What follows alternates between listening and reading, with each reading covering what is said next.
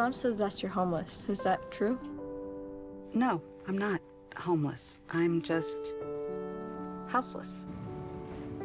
Don't worry about me, I'm okay. My husband worked at the USG mine in Empire, and I was a substitute teacher. It is a tough time right now. You may want to consider early retirement. I need work. I like work.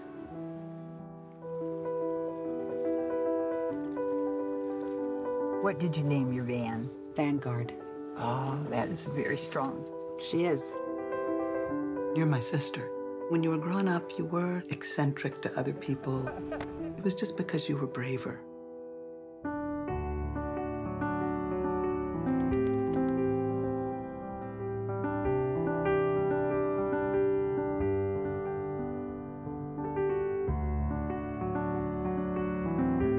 One of the things I love most about this life, there's no final goodbye.